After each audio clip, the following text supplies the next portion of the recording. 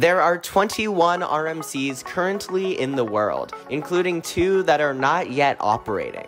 Out of these, I have ridden 7 Steel Vengeance, Twisted Timbers, Twisted Colossus, Wicked Cyclone, Iron Rattler, New Texas Giant, and Wonder Woman Golden Lasso Coaster. All of these are really good rides, with most of them being great and one even amazing. In this video, I am going to be taking my knowledge about my favorite elements on these coasters to make my unpopular opinion filled ranking of all of the RMCs in the world.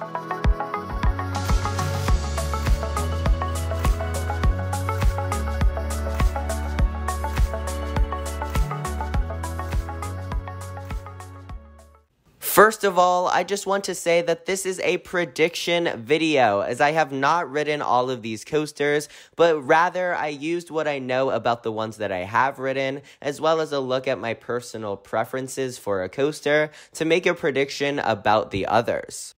Also, if you like roller coasters and amusement parks, then make sure to subscribe to this channel because I upload new videos just like this one every single week. Also, 90% of you guys aren't even subscribed, so bruh, subscribe.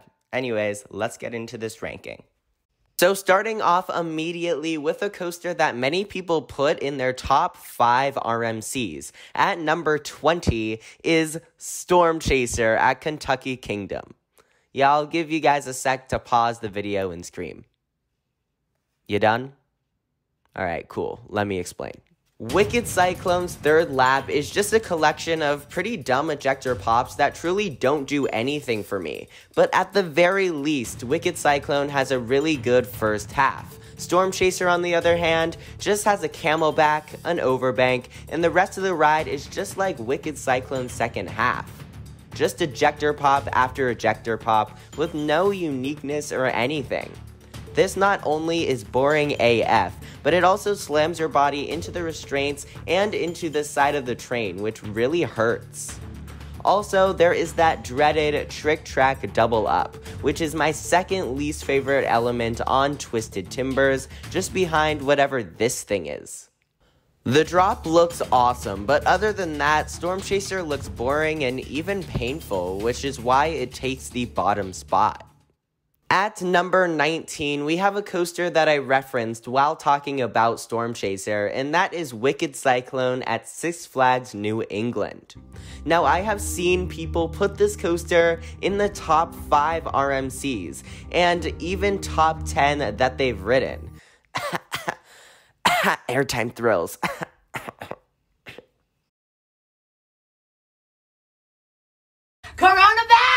But really, this ride isn't great. The first drop is fun, like all RMC first drops, and the first half is pretty fun, but the second half really, really, really brings down this ride. Like I said with Storm Chaser, it's boring and even a little painful. I actually felt myself put my hands down while on the third lap because of how disappointed I was. I only got two rides on this coaster, and I was like, yep, that's enough. And then we went over and got six more rides on Superman the Ride. It's still a fun ride, and still probably in my top 50, but nowhere near my top 20 or top 10. At the number 18 spot is a ride that many people call the worst RMC, and that is Joker at Six Flags Discovery Kingdom. This ride has the same second half problem as Wicked Cyclone, but honestly, the first half seems just a little bit better. The inversions look really fun, especially for someone like me who loves that fun gliding feeling and hang time feeling as you go through RMC's inversions. But once you go through that stall, Joker has the exact same problem as the two previous coasters on this list. Boring, bunny hops, awkward banking, and then it hits the brakes. Number 17 is Medusa Steel Coaster at Six Flags Mexico. Another coaster with a stupid second half that does absolutely nothing, but at least this ride has a really interesting first half, starting with the barrel roll drop, as well as going up into many tall airtime moments that give strong, sustained airtime. This first half makes up a little bit for the second half of this coaster, which is pretty much the same as everything else. And that's why I have it here at the number 17 spot. Number 16 is the second coaster here on this list that I have actually ridden, and that is Twisted Timbers at King's Dominion. This ride, guess what, has a bad second half. This one, in fact, is probably the worst second half because it is very painful. My legs and shins got crushed on this ride, plus my elbows slammed into the sides of the train especially on this part, which I am convinced was made by Satan himself. The barrel roll drop is awesome, and those three camelback hills are honestly the best airtime moments on any RMC. Don't kill me. But from there, it all just goes downhill.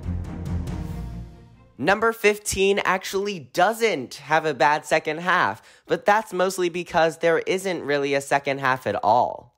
This is the Raptors, so Railblazer at CGA and Wonder Woman at Six Flags Fiesta Texas. These coasters are crazy. They whip you around through crazy inversions and awesome airtime moments. I've only ridden Wonder Woman, but they are mirror images of each other, so I just grouped them together. Personally, I actually like sitting in the middle of Wonder Woman because it gives you that floaty stomach feeling on the hills, which is my favorite part of all coasters. The inversions are great and it really feels like you're flying through the track. The main problem is just the shortness of this ride. Number 14 is a coaster that is sadly opening in 2021, which is Jersey Devil at Six Flags Great Adventure. This ride looks very similar to the Raptors, but fixes the length problem. Still, I feel like coasters higher on this list will give a more exciting ride experience when looking at my personal preferences, but still, it'll be a pretty great coaster, and I hope that I'll get to ride it in 2021. At number 13 is a ride that looks super fun, but a little bit too short to be higher up on this list, and that is Twisted Cyclone at Six Flags Over Georgia. Fortunately, this coaster can't have a sucky third lap, but unfortunately, that is because there is no third lap at all. The whole ride, though, seems full of sustained airtime moments and fun inversions, as well as an awesome wave turn that looks so fun. While I still think that I prefer the length and strong floater airtime of Goliath at the same park, Twisted Cyclone still looks like a super fun ride. Number 12 is a coaster that I think gets way too much hate, and it looks like a mid tier RMC versus a bottom tier RMC, and that is Outlaw Run at Silver Dollar City. This was the first topper track Woody that RMC made, and it looks awesome. That drop seems spectacular. The inversions and Outer Bank turns seem crazy, and the airtime looks sustained and fun. Sure, this coaster doesn't have the same out of control craziness as some of the other RMCs, but I actually like that as the out of control feeling is definitely not something that I look for in a coaster. Anyways, with the strong airtime, hang time, and outer banks, this coaster seems great and not at all a bottom tier RMC. At the number 11 spot is the first coaster that is not in North America, and that is Untamed at Walibi Holland. This ride really focuses on inversions, which in my opinion is awesome. I love that gliding feeling when coasters go through smooth and graceful inversions, and RMC does a great job of this on many of their coasters. The inversions on coasters already on this list, like Twisted Timbers for example, are some of my favorite moments on these rides, so a coaster full of these seems super fun. Obviously, I prefer sustained airtime, so it's not like it's a top tier RMC, but it still seems like a really great ride. Number 10 is a coaster that will send ejector airtime fans screaming around their room, so promise you won't break anything, okay? Tyler, you got that? You sure? Okay, cool. Number 10 is Lightning Rod at Dollywood.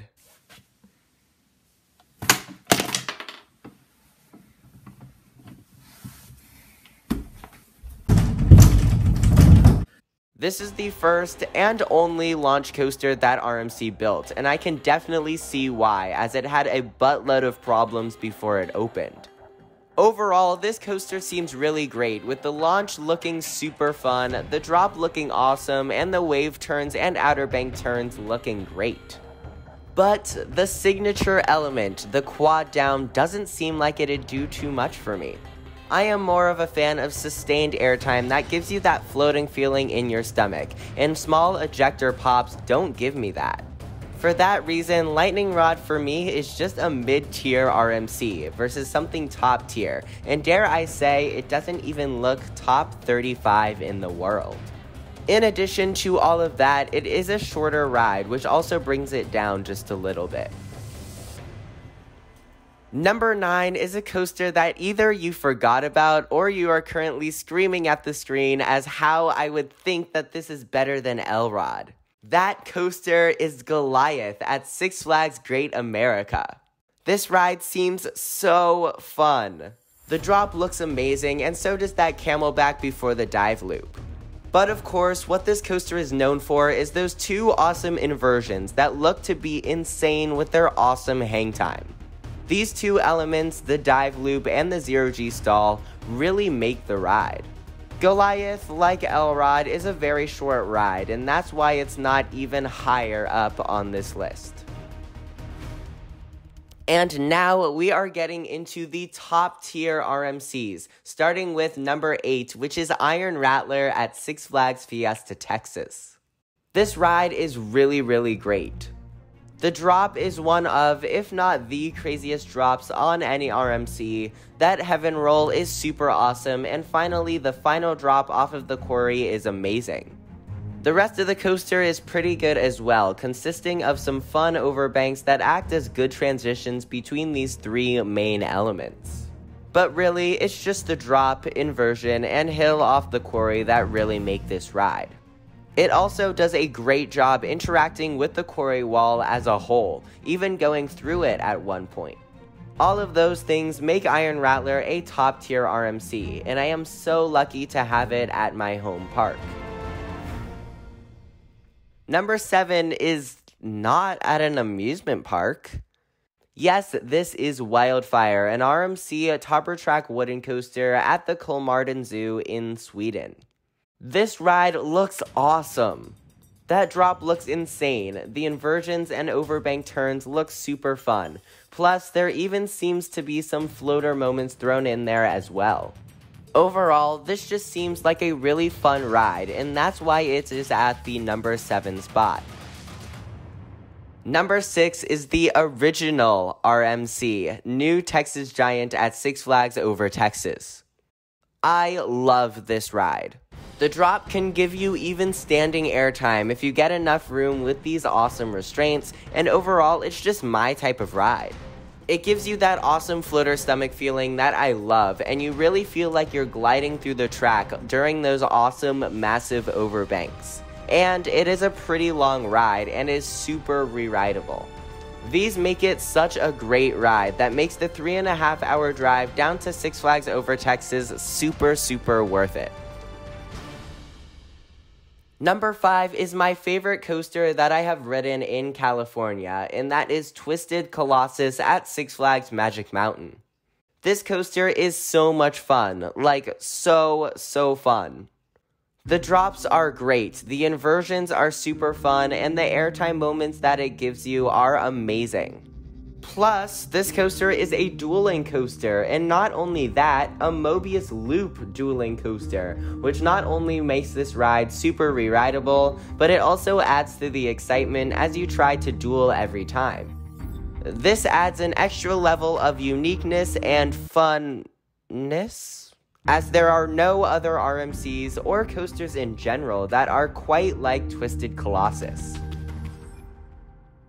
And now for the big top four, which consists of Hakugei, Steel Vengeance, Iron Gwazi, and Zadra. But what order will I put them in? Well, number four is one that has yet to open, and that is Iron Gwazi. This coaster is tough because honestly, I keep going back and forth on whether Steel Vengeance or Iron Gwazi will be better.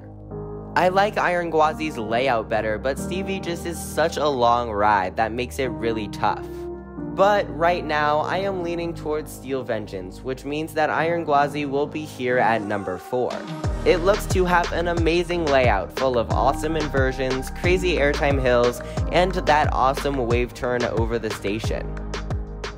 The drop looks incredible too at 91 degrees.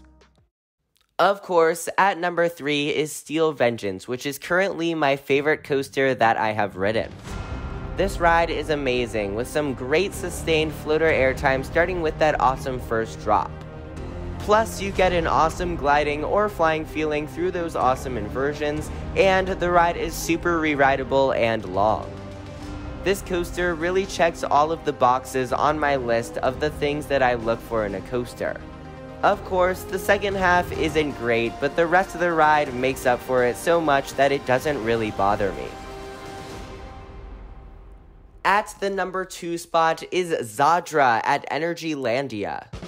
This coaster checks almost all of the boxes on my list that make a great coaster, and does them incredibly. That drop looks crazy, there are plenty of strong floater camelbacks throughout the ride, the inversions look to give some great hang time and seem to give you that awesome feeling of gliding or flying through the track, and finally, this coaster is for sure re-rideable.